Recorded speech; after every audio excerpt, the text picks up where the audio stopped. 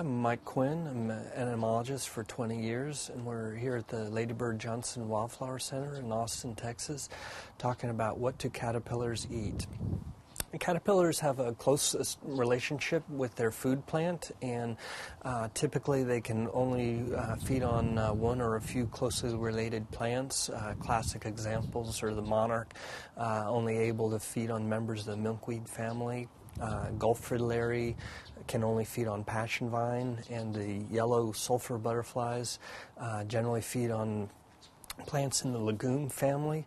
So, plants' uh, leaves are the preferred part of the plant that most butterfly caterpillars feed on.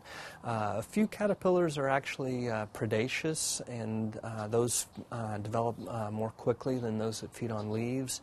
And some butterflies um, feed on the woody parts of plants, and they have a, a longer life cycle. And those are some of the things that butterfly caterpillars feed on.